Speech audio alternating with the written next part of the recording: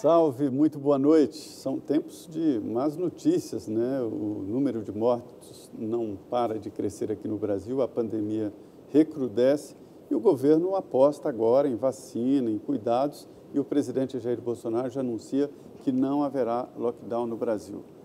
Esta conversa de hoje aqui no Frente a Frente, com o ministro de Ciência, Tecnologia e Inovação, Marcos Pontes, é muito interessante, porque nos traz uma luz no fim do túnel e notícias boas. Ele anuncia aqui, por exemplo, três vacinas brasileiras que estão bem ali na fase de testes, saindo da fase de testes com animais para humanos. Uma já está nessa fase, pediu autorização da Anvisa exatamente para isso.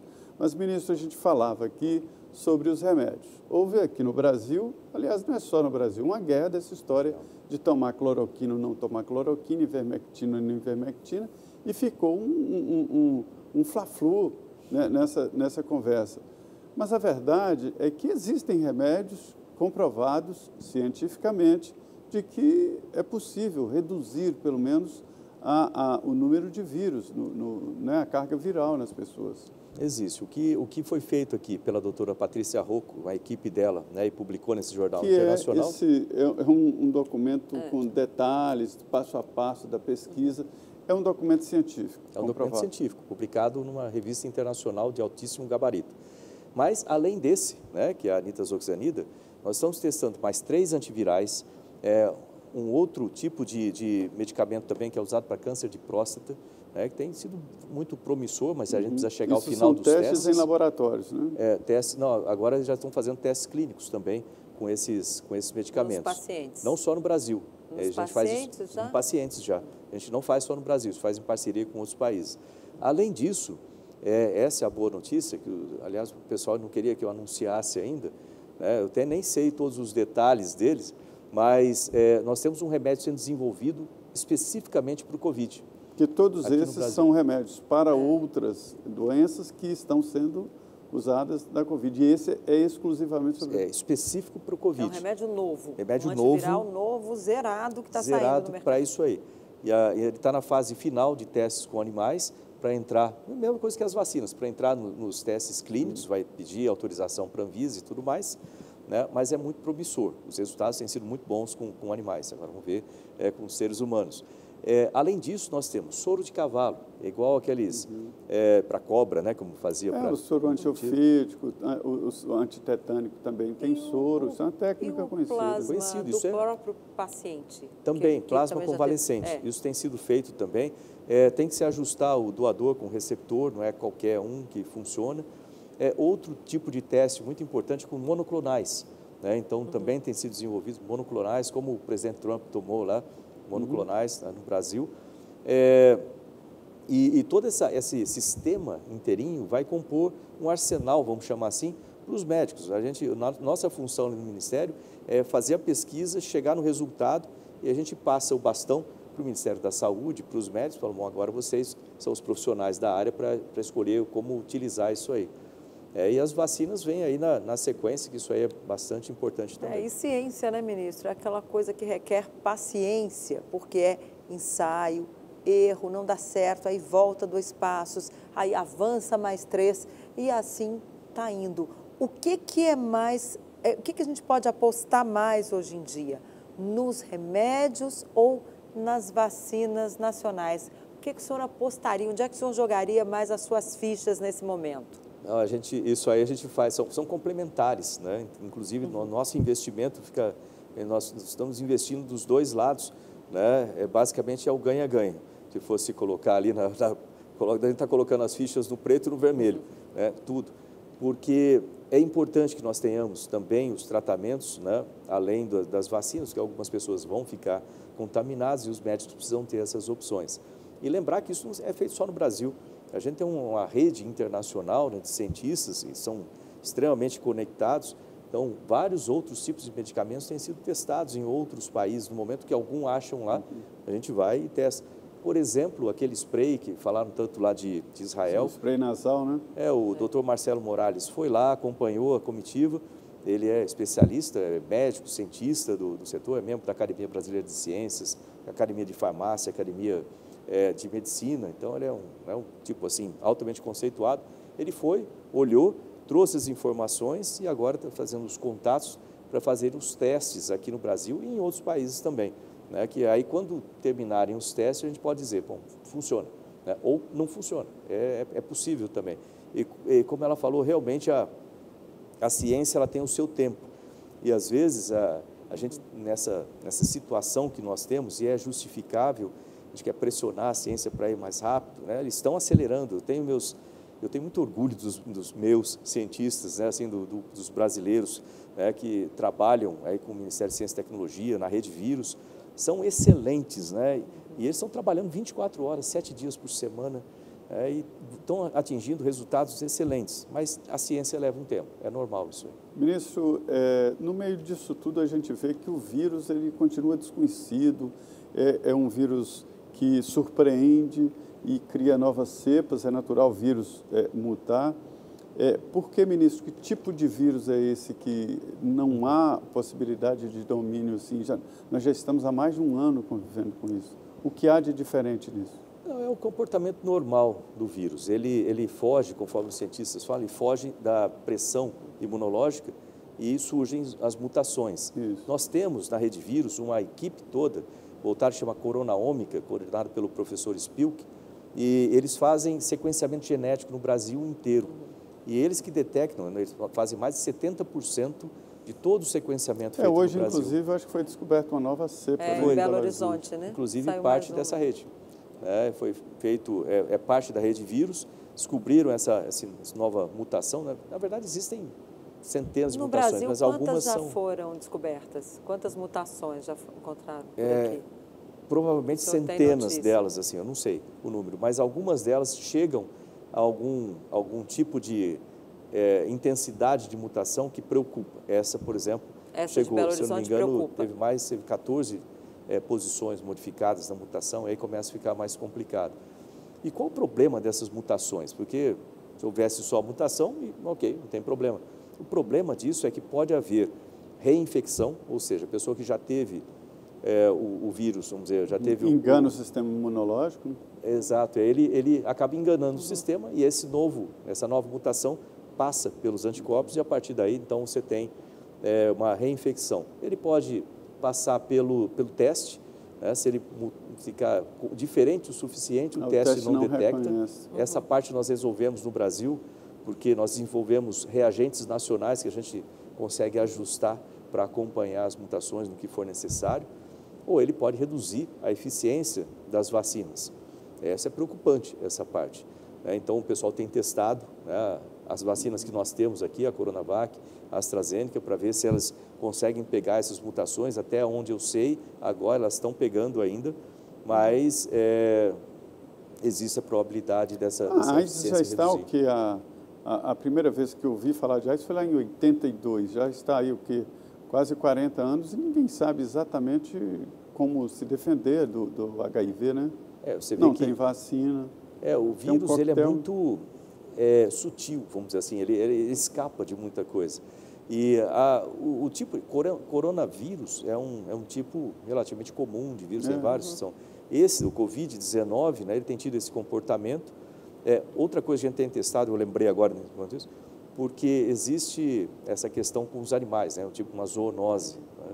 Então, nós temos uma equipe dentro também da, da rede vírus que testa animais silvestres, animais é, domésticos também, para ver a infecção ou a transmissão de animal para ser humano, que aí viria com uma mutação maior, as coisas complicam mais. Eles têm testado isso. Outro tipo de teste são com águas residuais. O que, que é isso? É, esgoto, basicamente. Uhum. Então, como você não consegue testar todo mundo em muitas regiões, se você medir nas águas residuais, você tem uma noção indireta de quantas pessoas estão contaminadas. Já se encontrou no Rio de Janeiro, né? Muita água contaminada, não foi? A não, última no, notícia no, que no, você teve. É, no Brasil é inteiro nível, né? tem sido medido isso. E o que, que acontece? Quando você começa a ver um aumento né, disso nas águas residuais, você pode esperar que daqui a uma semana ou dois, naquela região, você vai ter um aumento de e casos quais são grandes. os resultados que já se tem desses testes, ministro? Olha, tem vários é, com, com, relação os a isso. Os mais recentes, assim, que o senhor tem é, notícia. É difícil de especificar, porque é, o resultado não é assim um, um é, fácil de colocar numa, em, em, palavras, mas eles, eles mostram esses resultados em gráficos, né, em que eles medem a quantidade de... É um tipo de alerta, ministro. Uhum. É um tipo de um alerta, é um tipo de um alerta. E depois você vê o aumento de casos naquela região logo depois. Eu queria até recomendar para as pessoas, né, se me permitir, claro. é, procurarem no, no Google, né, Rede Vírus, tudo de uma vez, Rede Vírus MCTI, e aí a primeira coisa que vai aparecer ali é o site da Rede Vírus MCTI. Uhum. É, então, clicar lá que tem uma série de resultados, as pessoas ficarem curiosas em fazer esse acompanhamento. E lá tem, inclusive, esses resultados, tem esses de, resultados. de esgoto dessa pesquisa? Tem esses resultados dessa pesquisa, tem o resultado de, de mutações, né, tem o, os resultados com testes com vacinas e etc. Olha então, aí, tá então para você que nos assiste, quer saber aí mais informações, redevirusmcti.com.br, alguma não, coisa? É, não? Só clicar no Google? É, bota no Google, Redevírus, Redevírus MCTI. MCTI. É que vai, vai ser uma parte do site do Ministério, na verdade. É, essa técnica de água residual usada também é. para consumo de drogas, para medir o nível também. de consumo de drogas em cidades. Exatamente, né? porque isso acaba ficando na, na água, né, da, no, no esgoto. Aliás, é, Bom, desculpa, um assunto diferente, mas é que eu lembrei com Por isso. Por favor, ministro. Que a gente, Pode falar. já que estamos falando de notícias interessantes uhum. ou boas, né, nesse sentido, a gente tem trabalhado, já tem uma linha de financiamento na FINEP com coisas muito especiais, né, financiamentos muito especiais, para empresas que investirem em tecnologias para saneamento. Então, porque é um problema seríssimo no Brasil, eu lembrei falando de esgoto aqui, uhum. um problema sério, é, então tem essa linha de financiamento é para, não só para é, esgoto, tratamento de água, distribuição de água, é, reuso de água. Né? Então, tudo que tem a ver com águas, né? a gente colocou essa linha especial como parte do, da, do projeto de Águas Brasileiras, né? que foi liderado pelo Ministério do Desenvolvimento Regional e nós somos o parceiro ali disso. Ô, ministro, é, essa pandemia, ela traz grandes desafios, mas o Brasil tem endemias, né, é, doenças endêmicas também muito fortes. Inclusive, o senhor lembrou aqui da da, é, da chikungunya, da dengue, e que não tem é, é, vacina, né? Ah. Ou, ou, vai ter? Vai ter. Essa é outra boa notícia aí. Com o desenvolvimento do Centro de Vacinas brasileiro, como um Oxford brasileiro, é, uma das primeiras providências também, além, logicamente, de vacinas agora do Covid, é, é, o, é o desenvolvimento de vacinas para essas doenças negligenciadas aqui no Brasil. E nós já temos, sim, é, uma, uma, uma, vacina para dengue sendo desenvolvida. É, até onde eu sei, a dengue tem cinco tipos de, de mutações diferentes, quatro delas aqui no Brasil, e, e essa vacina está sendo feita para atender essas quatro, quatro tipos de mutações. Por isso que é importante a gente ter esse desenvolvimento de tecnologias aqui no Brasil, porque tem coisas que são específicas nossas. Eu conversei essa semana com 17 embaixadores da América Latina. Por quê? Qual era o objetivo da conversa? é, juntar esses países todos né, num esforço conjunto para vencer essas, essas, essas doenças aqui, né, e que eles se juntem também no esforço com esse centro de vacinas, de forma que a gente possa produzir um para ajudar assim, todos os países. doenças tropicais, então, no também caso. são doenças, é, essas, eles chamam de doenças negligenciadas, uhum. né, mas todos esses países sofrem com isso. Então é importante esse, esse, essa aproximação esse é o momento de juntar a força, né? juntar esses países todos, juntar é, dentro do Brasil também, né? trabalhar em conjunto. Hoje eu falei muito disso, né? numa audiência pública que eu tive hoje lá na, na Câmara dos Deputados. Aliás, queria agradecer o pessoal né, da, da Câmara dos Deputados, os parlamentares que me convidaram para essa audiência. Eu tenho pedido isso, porque é importante você ir lá mostrar o que está sendo feito no Ministério, claro. discutir né, e e com isso a gente trata de assuntos importantes, como orçamento Mas, também. Pois é, ministro. Pois é, orçamento era um assunto que a gente queria entrar também, né, Zé Maria? Denise. Não pode perguntar. Não, é isso aí. Eu ia dizer o seguinte, que a gente aqui. sabe que há uma falta de verbas para pesquisas no Brasil, para a aplicação da ciência, para as universidades, as universidades estão estranguladas, o orçamento está indo para pagamento de pessoal, 85% das verbas de educação no Brasil é para pagamento de pessoal, salário, aposentados, e tal. E como é que o senhor está fazendo, como é que o senhor está lidando? Primeiro, com essa falta de verbas que é crônica. Uhum. Segundo, é o não orçamento. Quer dizer, já tem é. ministério é. sem dinheiro para comprar cafezinho. É, não é diferente ali com a gente. Nós, é, todos os ministérios estão sofrendo, né? pelo menos a maior parte deles tem esse, essa questão.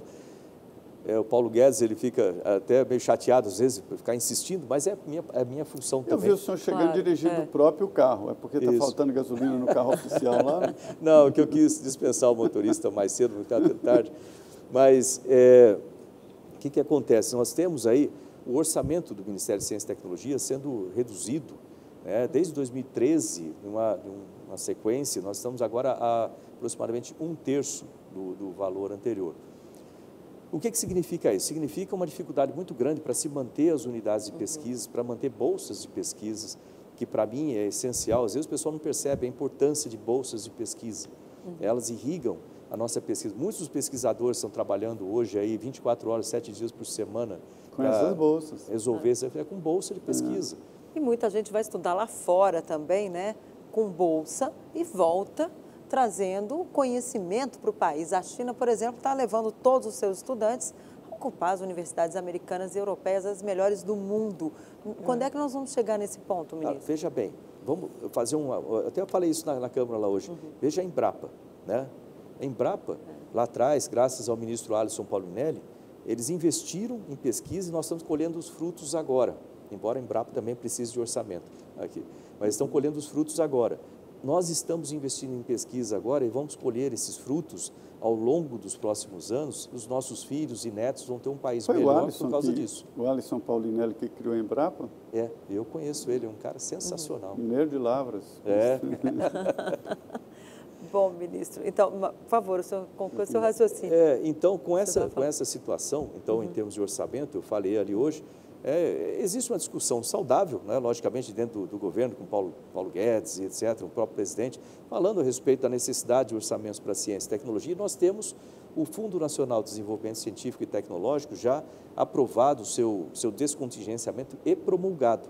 Ele só não entrou no orçamento porque aconteceu simultâneo com a chegada do orçamento lá no, no Congresso. Quem sabe agora, com essas modificações, não entre pelo menos uma parte disso que vai ajudar a financiar essas vacinas, esses remédios e muitas outras coisas importantes para o país.